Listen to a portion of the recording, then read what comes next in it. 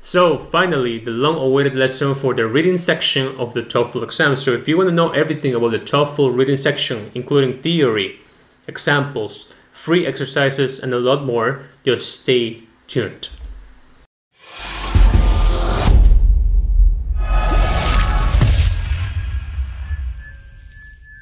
Now, before getting on with the content, I'm going to gently ask you to subscribe to our channel and click on the notification bell because we have tons of material on the TOEFL and on other exams such as the GMAT and the GRE.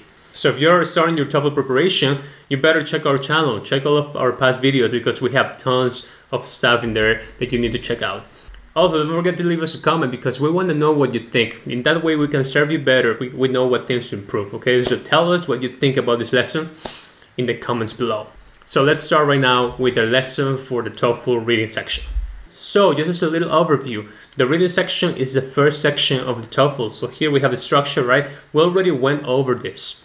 So the TOEFL has four sections and the first section is the reading section. So in case it doesn't look familiar to you, in case you don't know what I'm talking about, in case you don't really understand the, the structure of the TOEFL too well, well then you better go to our introductory lesson for the TOEFL okay because there I go in depth over the main things of the whole TOEFL exam the main structures that you need to understand before watching this lesson. So just go there and you'll learn everything all the general aspects of the TOEFL exam.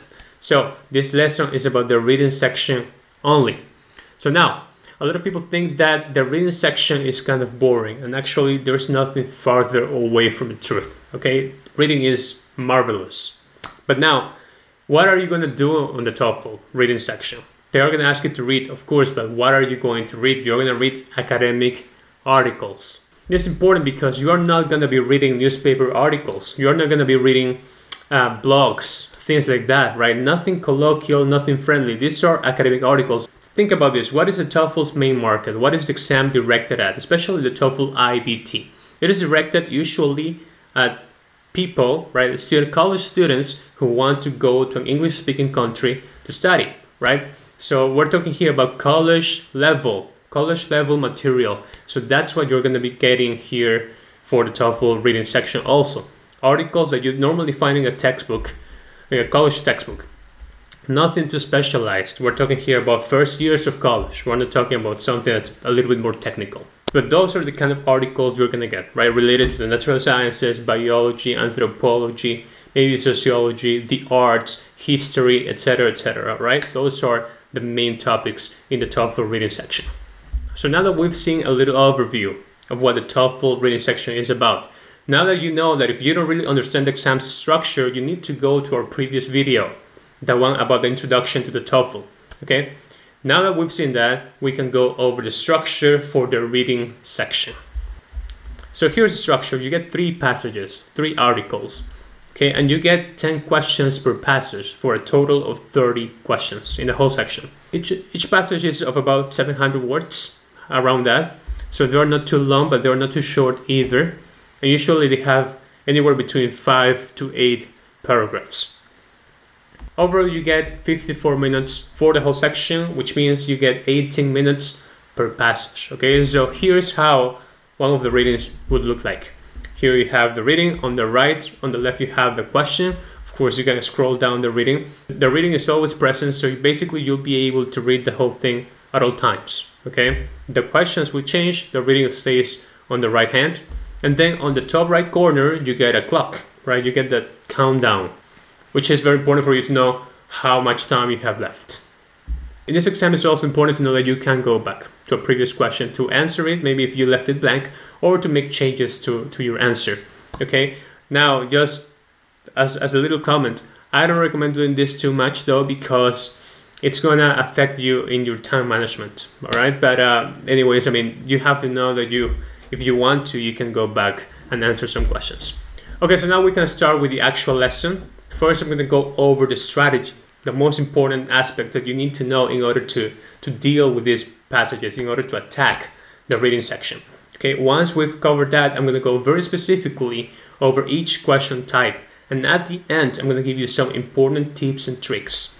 Okay, but now before getting on with the strategy though, before going to the strategy, if you want some free material, if you need some free exercises, go to the link in the description below and download your free PDF with free exercises. So if you need some free material, we've got you covered.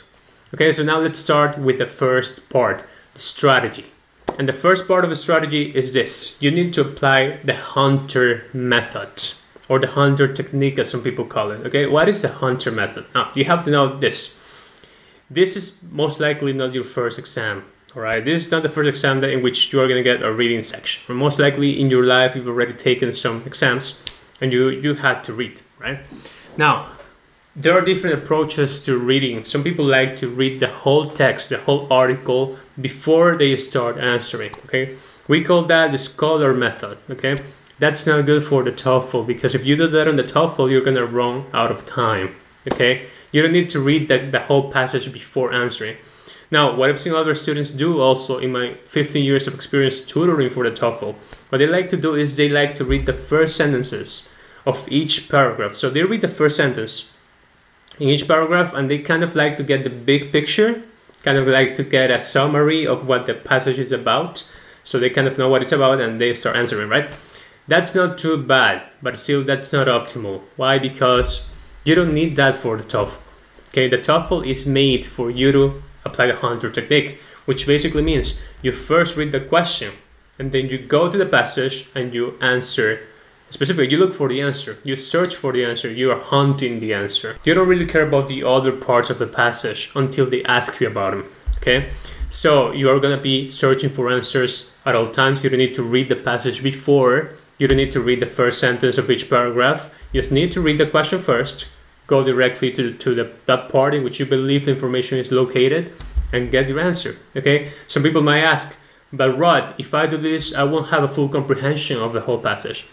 And yeah, that's partially true, but you don't need a full comprehension. You just need a good enough comprehension. Okay, that's the main part here. Because just think about this. If you read the whole passage, you spend your time, or actually you waste your time reading the whole passage, at the end there might be several several pieces of information that you've spent your time on understanding that they don't ask you about. Okay, and if they don't ask about it, then we don't care about it. Okay, so on the TOEFL, we just care about the answers. So and, and also, by the time you finish the reading, you, you get to question number 10, you would have read most of the passage, believe me, because there are 10 questions. So you're going to be reading little by little by little, and you get a good enough comprehension of the whole passage. Maybe not a 100%, not a complete comprehension, but, but a good enough comprehension in order to answer the last question. Okay, so that's a method, that's a technique you need to employ. If you start reading the passage before, if you want to read the whole article, that's not going to be good for you okay? You're going to run out of time you're going to get stressed out. That's not good. That's not the way you should do it. So just go there and apply the hunter technique and you'll be safe. Strategy number two answer chronologically. All right what does it mean? What the hell does it mean to answer chronologically? Okay basically you have to understand this uh, the first questions for the the article for reading right we'll have to, uh, you'll find the answers to those first questions in the first portions of the reading, the first paragraphs. As you go to the latter questions, your answer will be located at the end of a passage. So that's it basically, right? So if you, uh, let's say you, you are answering question number two, all right, and you found your information, that the answer for that question in paragraph number two, that means that if when you get question number three, the answer for that question number three will not be located before, will not be located in paragraph number one, will be located after paragraph number two. Okay, so just to give you a brief example, here's how it goes. So in this case, I'm answering this question, right? Now, let's say that's question number two, okay? Now, if the answer to this question is in the highlighted portion that I've highlighted in yellow, okay?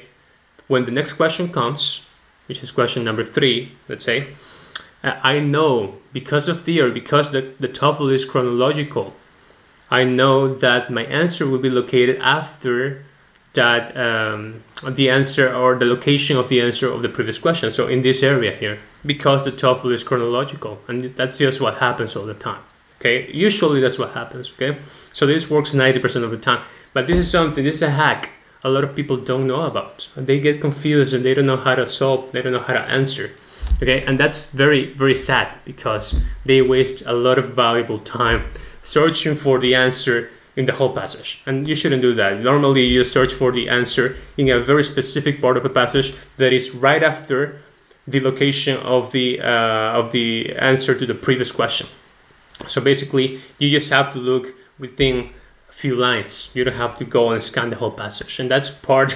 that's something a lot of people don't know. Okay, and they make tons of mistakes because of that. Other than that, you also need to remember that most of the time, maybe most of the time, the TOEFL will actually tell you which paragraph the answer is should be located, right? So tell you paragraph number six this question, blah, blah, blah, blah. So you know that only refers to that paragraph, okay? So it's very important to manage this concept because in that way you'll save a lot of time.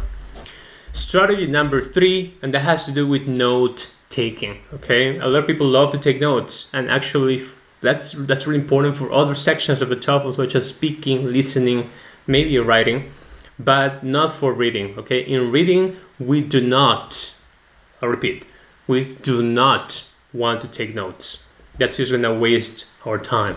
Okay, that's total waste of time. All right, so we don't want to take notes. I'm gonna explain to you right now why it's not necessary for you to take notes. So basically, as we mentioned before, the TOEFL is chronological, right? And you have to apply the Hunter technique. So actually, every time you're answering, you're just reading a few lines, maybe three to four lines. So there's no reason to take notes because you, your memory is big enough to, to remember, to memorize that information. Okay, so no notes for us. They won't help us. Actually, in this case, it will be more uh, uh, harmful than beneficial. Okay, so we don't want to do that. Now, what you do want to do though, what you do want to do is you want to keep track of your process of elimination, which is actually strategy number four. Keep track of the things you eliminate, of the options you eliminate. So, in order for you to to be very organized when you're answering. You want to keep track of the things you eliminate. So what you want to do is you do a little chart like this one. You write down all the questions, the 10 questions for each reading, and then you place four options for each because most questions have four options, maybe excepting for the last one. Okay, but most questions have four options only. And then once you start eliminating one of those choices, you want to cross them out. Okay, because believe me, a lot of people, when they are, are pressed they're nervous because they're taking the exam. What they do is they forget what they eliminate and they end up choosing they end up picking an answer that they had they knew that it was wrong. So sometimes uh, we're going over the homework and we, i ask them you know why you chose this? And they go like uh, i knew that was wrong but i don't know why you chose it because they were nervous and they didn't have a good they didn't keep a good track of their eliminations okay? So you don't want to do that. So you need to keep track of your eliminations. When you're sure that something is wrong, just cross it out in your notes. But also, this will help you for another reason. Because we've mentioned before that in the TOEFL you can go back to a previous question. And sometimes, I mean, we don't want to do that because of time management, right? The time limit. And of course, going back to answer previous questions is not something we want to abuse, okay? Because that, that will lead us into trouble with the time. But sometimes you're going to have to do it maybe because especially at the beginning of the passage, sometimes you're going to see that you don't have all the information because you're just starting to read the passage. So for the first few questions, maybe the first couple questions, you don't have enough info and you are not certain of your answer. So you just mark an answer, but you're not sure about it. Now, here, that's important thing. You need to keep track of the answers of or the questions that you're answering without certainty okay so like in this case i'm marking i'm, I'm drawing a box around the question the question number because i'm signaling that i'm not sure about that answer. So in case i have time to return then i'm going to go directly to that question and i'm not going to be looking for all the questions to know whether i was uh, right or wrong or whether i was sure or, or in doubt. Okay so you just want to go back directly to the questions you had trouble on so because of these reasons, keeping track of your process of elimination is tremendously beneficial and you need to do it. Okay. And strategy number five has to do with time management. Okay, so just to review the times, here we have times, right? You get 54 minutes in total for the whole section, which means 18 minutes per passage. That gives you actually around, you have 10 questions per passage, so that gives you around 1 minute and 45 seconds per question. Of course, I don't like this average, okay, because it means nothing for us. Why? Because different question types require different times. There are some questions that are hard, there are some questions that are easy. Okay, for you to know, usually vocabulary questions and pronoun questions, those are easy and they will need less time than the others. Lookup questions, and other textual questions will be kind of on the average, and then inference questions, inserting questions will require a little bit more time. And then at the end, you have the chart, things that you have a chart or a big summary, which usually is the last question that will require way more time. So here you have the recommended times I give my students, okay?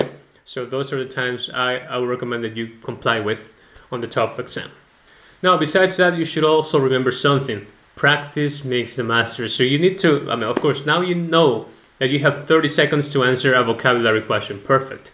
But you need to remember that. You need to be aware of that. So in order for you to, to kind of internalize those times, you need to practice this over and over and over.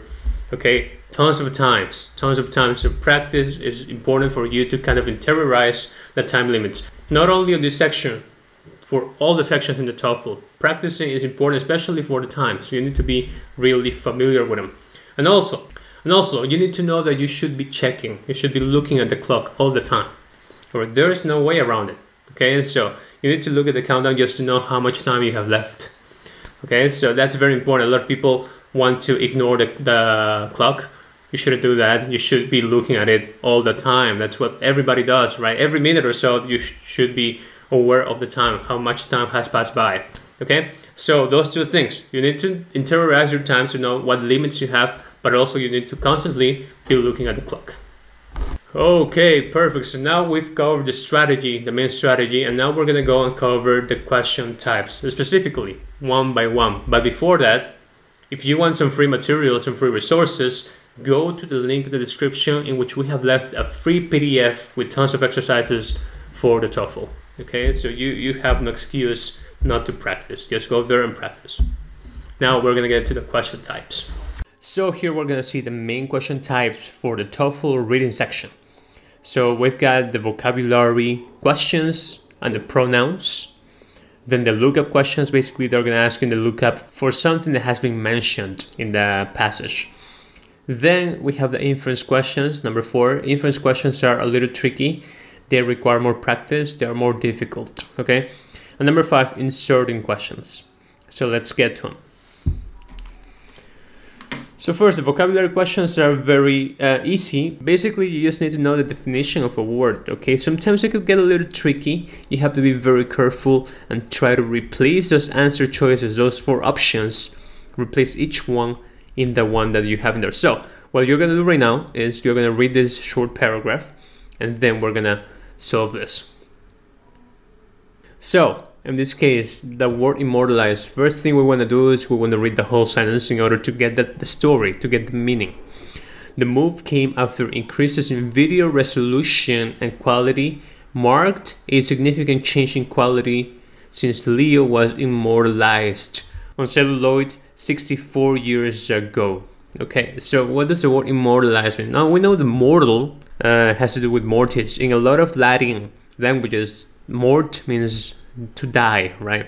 So mortis, mortal, that means so something with life and death. So something related to death. Now, if you read the story though, the whole story, Leo is he he's been dead a long time ago maybe, but the thing is that he was the pet for this company. So it's not about killing him, right? Immortalized that the prefix im means something against death. So he hasn't died. So he cannot be killed. So letter A is out. Now, revived. To revive somebody. Now, it doesn't make sense for the lion, for an animal to be revived, right? What sense would it make? Nothing at all. So, revived is out. So, it could be perpetuated, it could be frozen. Perpetuated means that something stays, right? Something remains. And frozen means that something, of course, I mean, it kind of has the same meaning as perpetuated, but frozen could also be the something that's frozen, like when you put it in the freezer, right? Something doesn't move so in this case, because they want to say he was immortalized 64 years ago, basically the lion is a legend. He's iconic. That's what they were trying to say. It needs to be perpetuated because it's not frozen. Frozen is something doesn't move, right? And, and uh, maybe the the reputation of the lion has increased? We don't know. So he has been immortalized because the lion is a legend. So in this case, letter B would be our answer. So that's how we do this type of questions. We're gonna go over to the second question here, another word. Okay, now this is a different passage. I want you to read the paragraph and then we're gonna go over this uh, question. So it's been 10 years since Japan's Fukushima earthquake and tsunami. However, radiation fears have lingered in the area. And then they start talking about how people can't forget about it, how destructive this uh, disaster was, right? Now, uh, the word lingered, what does linger mean? Well, I mean, if you know what linger means, of course, it's easy, right? Because it's going to be uh, several of them. There is only one thing. But uh, if you don't know what it means, then you're going to have to try to get context. Now, they tell you that the effects of this disaster are still can still be felt by the people. People are still uh, they live in fear, right? It's been 10 years, but the, the effects, the problems have increased in the last 10 years. That's what they're saying. So the effects are still there. So it cannot be passed. Letter C needs to be out because the fears have lingered in the area cannot be passed because if the, the fears have passed, then people will be sleeping normally and they are not. They are still afraid. Now, originated. Does it make sense? How radiation fears have originated? now? because 10 years ago they originated.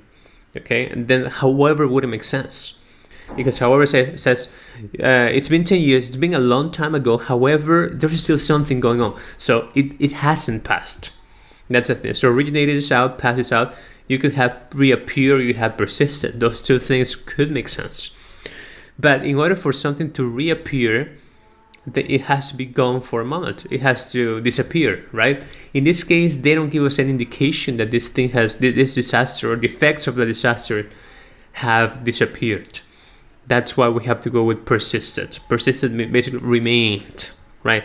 It has remained for uh, this long. Okay, so that's the answer, letter D in this case.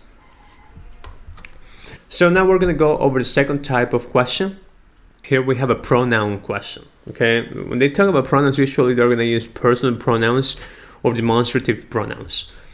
Now, uh, again, I want you to read this thing. It's very similar to the paragraph we read before.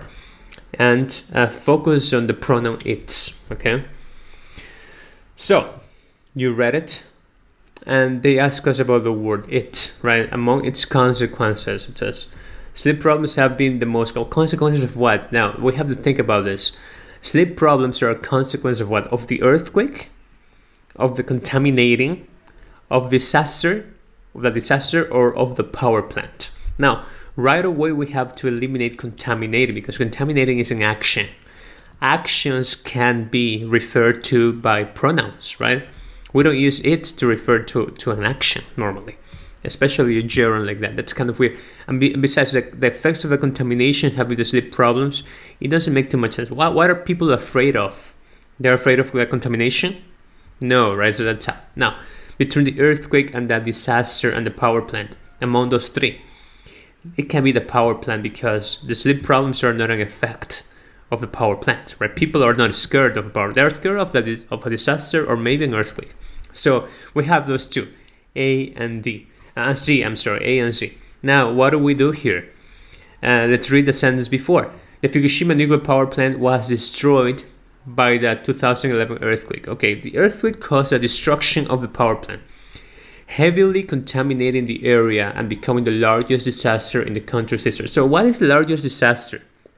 I mean, the, the earthquake or the effects that the fact that the earthquake destroyed the, the plant?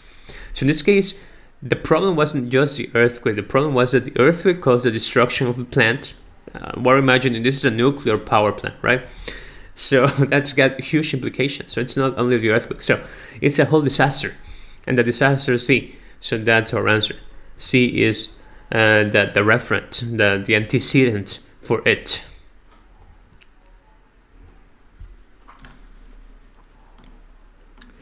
Very good. So now we're going to come over to a lookup question.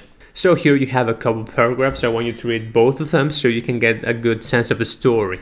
Okay, just read them, read it quickly, pause the video if you need to, and then we're gonna go to the question. Okay, so the question is this one. In paragraph 2, this one here, what is mentioned as a factor that made the new computer generated mascot possible? Okay, a factor, that, that that's our keyword, factor, that made it possible. Something that tells you that before that factor, it was not possible, right? Before that, that uh, factor came along, you couldn't uh, make a, a computer generated model or, or a computer generated mascot, okay? So let's read the sen- let's read the, the paragraph. Now, after almost 100 years, let's look for the keywords here. Here we have to focus on the keywords. The keyword is a new factor and possible. So, uh, after almost 100 years, MGM is replacing its mascot for a near identical computer generated duplicate. All right, they give us the context here, but they don't tell us if, about a factor that makes it possible. The move came after. Now, after could be because after is after something, so it could be something that enables it to, to make the change. The move came after increases in video resolution and quality marked a significant change in quality since Leo was immortalized 64 years ago. Okay, so, so that could be. They say after increases in video resolution and quality marked a change in quality. So basically, I think that's what they're saying is that uh, right now, because the technology is more advanced, now they can do it. Okay, so that's that, that's a factor. Let's see to, in the next sentence if we can get another factor. We've got um, MGM originally planned to debut its a new mascot. That's a, that's a different thing. It's not about a factor. It's about where or when they're going to show the mascot, the new mascot. So we already have our answer. It's about the new technology. Uh, letter A: Computer generated images became cheaper. Cheaper is talking about prices and they don't say anything about cheaper, anything about it being uh, less expensive. So that's how technology improved. That's kind of broad. That's kind of broad, but it could be. Let us see. MGM's board approved of the computer image. It's not about a board's decision. Leo died of old age. It's not about that. So letter B has to be the answer. Okay, so that's how you answer a lookup question. Now let's do another one. Okay, now here we focus on keywords. You see, next sentence here. Number two, uh, next question, I'm sorry, for the lookup. In paragraph two, what information is provided? So this one is a lookup question because uh, they have mentioned certain information, okay? Now, the best way to go here would be to go sentence by sentence and make a little summary. So I'm gonna read the first sentence. Now, after almost 100 years, MGM is replacing its mascot for a near identical computer generated duplicate. So that's talking about what they're replacing it with and also they're talking about uh, the time that has passed 100 years okay that's information uh, is there anything in there in, in the, the choices date at which Leo was born? No. The reasons why James Bond, James Bond films was related? No. Computer images expected to be no. Difference between the real and the computerized? No. Nothing. Second sentence. Move came after increase in the video resolution. Blah blah blah. Since Leo was immortalized of 64 years ago, that gives me information when Leo was immortalized 64 years ago. That that's what they took the the picture, right? They took the photo of Leo, and uh, and what was the factor in order to enable this move? But they don't say anything about it. That those four answer choices. Uh, sentence number three: MGM originally planned to debut its new mascot in the latest James Bond James Bond film. Okay, however, No Time to Die was delayed from 2019 to 2021 due to the coronavirus pandemic. Okay. Um, okay, so in this case, they tell you data which Leo was born. No. Reasons why over James Bond was late. Yes. All right, that's the answer because in that sense you find it right. Due to is a keyword for why. Reasons why, right? Due to the coronavirus pandemic. So it was delayed because of the of COVID. Okay, so that that's most likely the answer. Now, let us see when the computerized image is expected to be released. In the last sentence, they tell us something about it, but not about when. They tell us about where, right? MGM has decided Leo's digital look-alike will be seen with the upcoming films Dog and Respect. Okay, but they, they don't give us a date. That's why letter C can't be the answer. And uh, last one, the differences between the real and the computerized lions. Uh, no, we don't have anything about the difference, so our answer would be B as in baby boy, okay? So that's the answer. Now, next question type, the inference question. This inference is way more difficult than the others. Why? Because the inference basically, they're gonna ask you about something that hasn't been mentioned, but something has been suggested. Now we have a whole whole course on inferences because these type of questions are tricky, okay? But the main advice I'm going to give you right now is that when you have an inference, you either do it because of complements or you do it because of, uh, let's say, uh, you, you reunite information, okay? That's what you do it with. I'm going to give you a brief example right now, okay? Little, really brief example.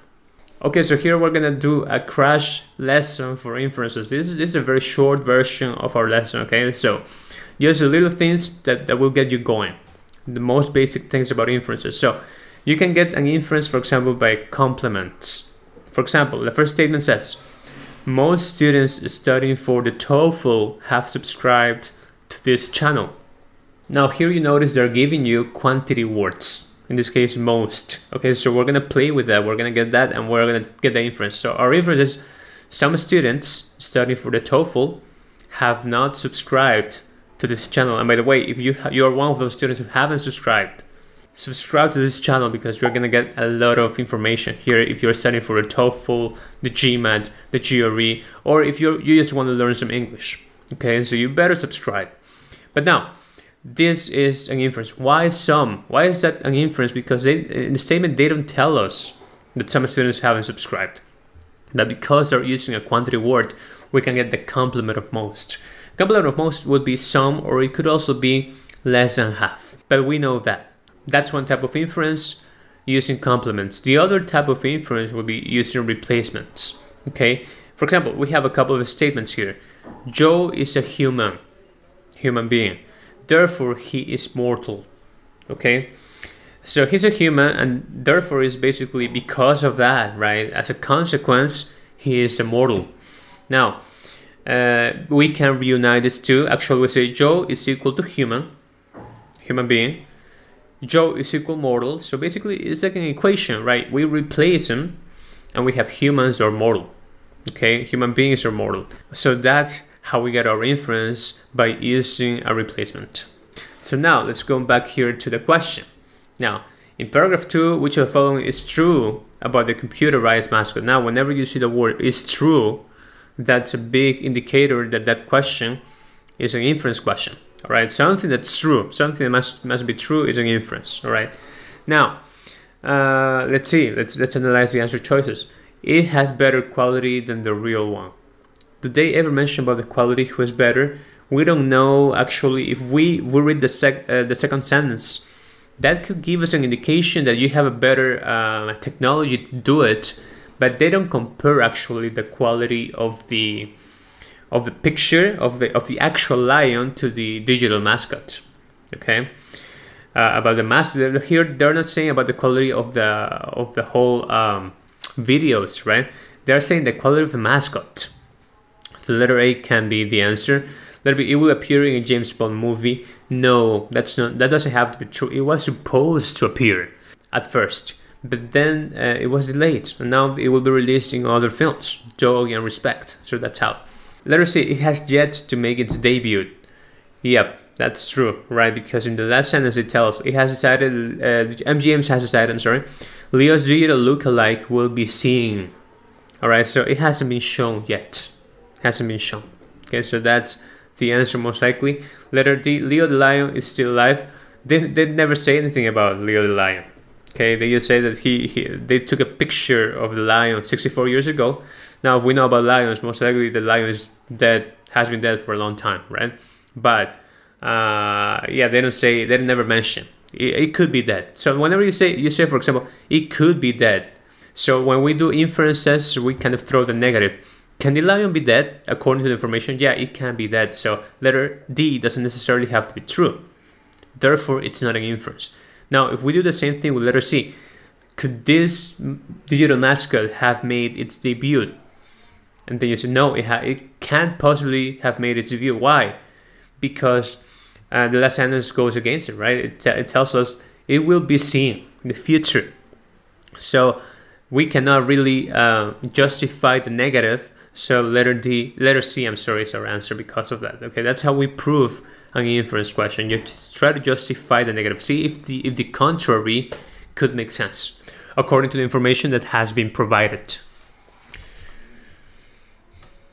Now we come to the next type of question, inserting. Now, inserting questions are a little tricky. They'll give you four points here, like this ones, okay? Usually they're gonna call them A, B, C, and D. They're gonna give you one more sentence about the same thing, and they're gonna ask you to put it in the place that, that it fits the best, okay? Now you have to logically see where this new piece of information would make sense. Now let's read this piece of information. It says, the company's marketing team concluded that newer generations want to enjoy a more technological experience. Okay, so they're talking about marketing team. They're talking about um, that the reason why they want to change the mask. One of the reasons why they want to change it. Okay, because these newer generations, they like things that are more technology, more more related to technology, right? So the first one, let's see the first. If if we go to the first uh, square here, could it be before now, after almost 100 years, MGM is replacing its mascot? No, why? Because the first sentence, this sentence here, is giving you context. So that context is necessary to be at the beginning before we start talking about the reasons why they're changing it. So first they have to tell us that there's going to be a change in order for us to later discuss about the reasons. Okay, so the first one can be. Number two, First thoughts about the change came after increases in video resolution and quality. Mar- All right, they're telling us here, they're giving us a keyword. First thoughts. So they, at first, started thinking that they could make the change because it was possible. Okay, so because of that word, first thoughts, that uh, that has to be the first thought. So that has to be the first reason mentioned. Okay, so if we're gonna add this additional reason, it has to come after. Now let's see dot three. MGM originally planned to debut its so let's start talking about the, the debut now, right? So basically, this piece of information has to be before the debut because they're already talking about. First, they give you context. Sentence number one. Sentence number two gives you one reason why they want to change the line number, and sentence number three gives you a the debut. They talk about the debut. So those are different things. This additional sentence is to giving you a reason, so it has to go with sentence number two. So it's either B or C, and because of what we mentioned before, sentence number two has to be the first reason. So this new additional sentence needs to go to letter C. Okay, that's the place where it belongs. So that's how you do this sorting question.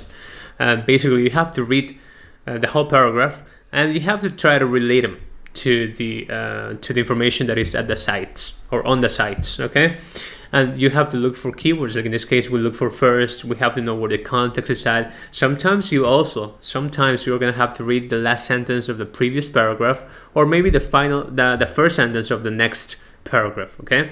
So that, that's how you do this. They are not that difficult. Just uh, try to get the context the whole context. That's the most important thing here. Okay so tips and tricks now. Tips and tricks one of the most important parts okay? We've already covered strategy. We already covered each question type specifically. Now we're going to go over the tips and tricks. Two main tips and tricks. The first one is vocabulary, right? And a good knowledge, a good proficiency of vocabulary is crucial for this section. In all my years of experience, I've seen students, the ones who have trouble usually are the ones that don't have a good vocabulary base. So, of course, because sometimes they are able to speak, right, colloquially, but if they are not readers, if they don't, they are not used to reading academic topics, they, there are a lot of questions they won't know the meaning of. So it's very important for you to get a good vocabulary base. How do you do that? My main advice would be go to Google, go to Google and search something like basic vocabulary for astronomy or basic vocabulary for history, something like that. Okay, and there's going to be tons of material, but you need to know those those words. Okay, I'll leave you here some vocabulary for natural sciences. Okay, this is the main vocabulary for natural sciences on the TOEFL. Now, my main advice here also would be you don't need to know the definitions of these words in English. A lot of people try to kind of memorize the definitions in English, but the, the problem is that if you don't have a high level of English, you aren't going to remember those definitions, okay? You're going to forget them very quickly.